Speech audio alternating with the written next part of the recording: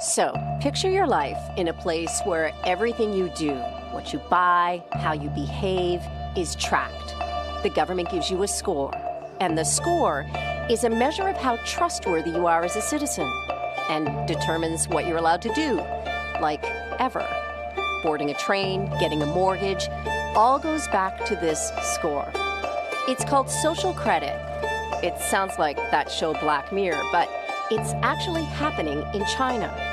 So, how does that change you? Does it change you? What does your life look like when your every move is watched? The system's eyes are in big data, artificial intelligence, and roughly 200 million surveillance cameras.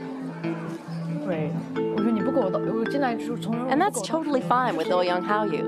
She's 21, graduated from a good school with solid grades. She's diligent. She's nice.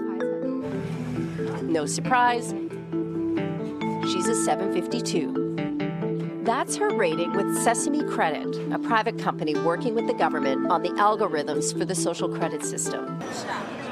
The scores go from 350 to 950 and are based on habits and behavior. Buy clothes or diapers, it's good a lot of alcohol, too many video games. Not so good. Haoyu's 752 puts her in model citizen range and gets her discounts and privileges, like using a shared bike without a deposit. She likes it. Her friends do too. They all have pretty high scores. It's a mechanism like uh, pushes you to become a better citizen, to build to build on the trust, especially on the Chinese market because because you're you're not you're, you're not going to be punished if you haven't done anything wrong. I think that's the point. I think the system is working as a as an as a warning or a alert to like to push people to do it yeah. to, to, to be a good person. And it's mandatory.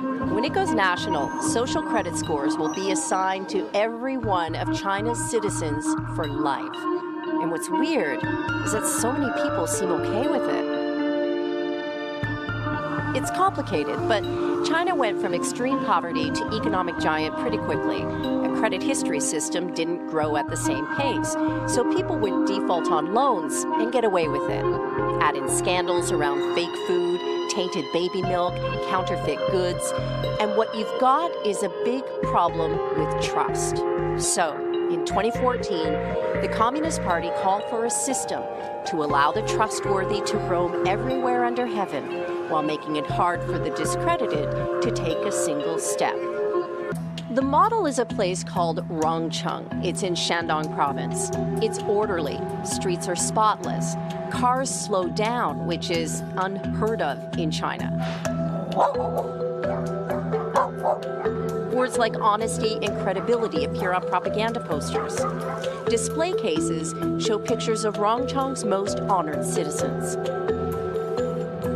You start with a thousand points, and you can print out your report anytime. You lose points for things like jaywalking, littering, tossing cigarette butts, or spreading rumors.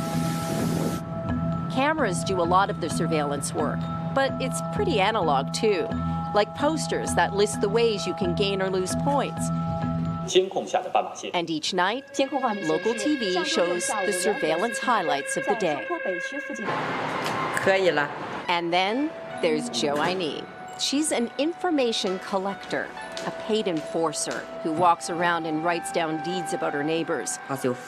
Like the man who carried a drunk person home. Things like this are good deeds, she said. But the farmer overheard swearing and being rude? Yeah, bad deeds. Her quota is 10 a month. She likes the work, thinks the city's better for it. The thing about the social credit system is that there isn't one single system, not yet. Different places have different rules. So, what do you do if you have bad social credit?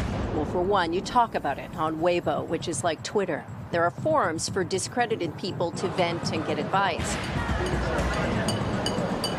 In Chongqing, we hooked up with Huang Huijun. He had a business until he was sued by a client, and Huang refused to pay 90 grand to settle it. So, the court put him on a social credit blacklist, and things got way worse.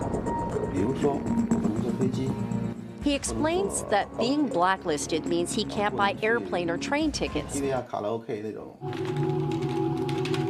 When he tries, a message pops up saying he's discredited.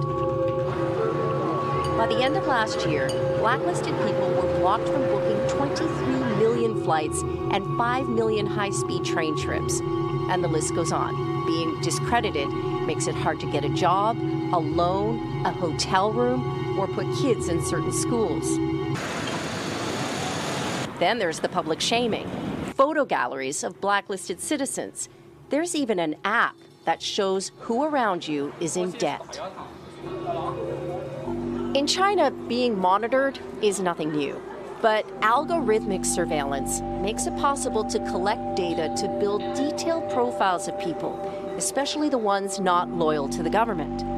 Of all the video surveillance cameras on the planet right now, nearly half of them are in China. Are people bothered by privacy concerns? So we think uh, the lot of camera keep the safety is uh, really good, really good things.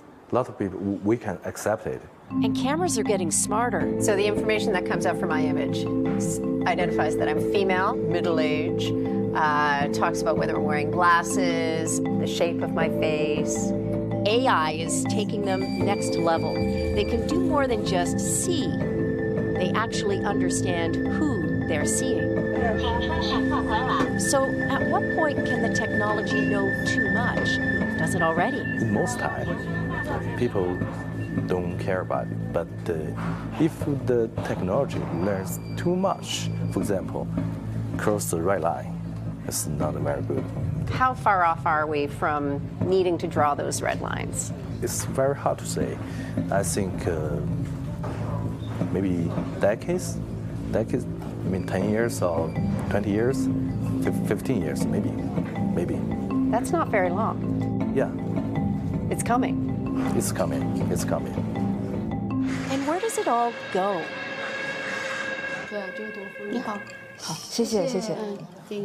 Haoyu isn't so bothered. Her sesame score is high. Life is good, and she's used to living most of it online. Soon, her education and medical records, and any run ins with the law, will factor into her social credit score. And wherever she goes, someone will follow and ask, Who can you trust? Hey, NBC News viewers, thanks for checking out our YouTube channel. Subscribe by clicking on that button down here and click on any of the videos over here to watch the latest interviews, show highlights, and digital exclusives. Thanks for watching.